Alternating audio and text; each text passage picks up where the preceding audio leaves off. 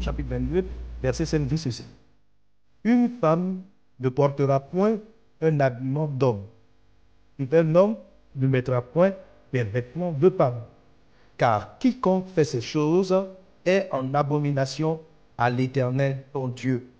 Voilà ce que nous dit la parole de Dieu.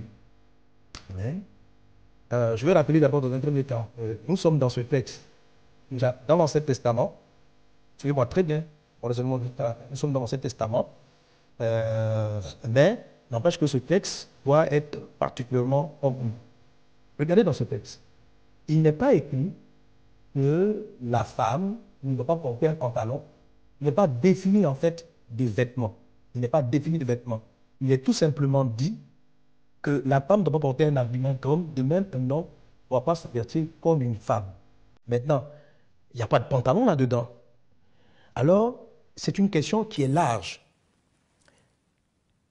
La tenue vestimentaire est maintenant une chose culturelle, est une chose culturelle. Dans votre culture, qu'est-ce qui est vêtement d'homme Qu'est-ce qui est vêtement de femme dans votre culture?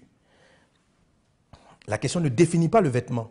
Si dans votre culture, tel vêtement est défini comme étant un vêtement d'homme, alors la femme ne doit pas le porter. Si dans votre culture, tel vêtement est défini comme un vêtement de femme, les hommes ne doivent pas non plus porter le vêtement. Mais il n'est pas spécifié la qualité ou le type de vêtement exactement, parce que ça varie en fonction des cultures. Il y a certaines cultures où la jupe est un vêtement d'homme. Il y a certaines cultures où des hommes s'habillent avec des vêtements qui semblent être des robes, qui dans d'autres cultures auraient été des vêtements féminins, etc. etc. Le problème de la culture, c'est que ça évolue avec le temps. Ça évolue avec le temps.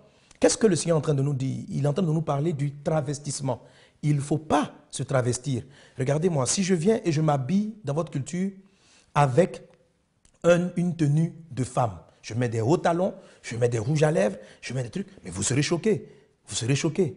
Pourquoi? Parce que le travestissement est un déni de votre identité. C'est le déni de ce que Dieu a fait de vous.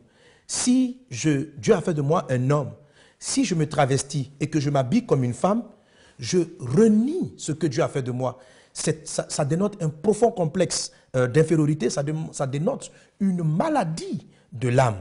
Et ça, il faut que je traite avec cela. Pourquoi je disais tantôt que ce texte nous vient de l'Ancien Testament? Pour dire que dans le Nouveau Testament, nous devons comprendre l'esprit des choses, l'esprit du texte, et non le prendre euh, euh, à la lettre. La Bible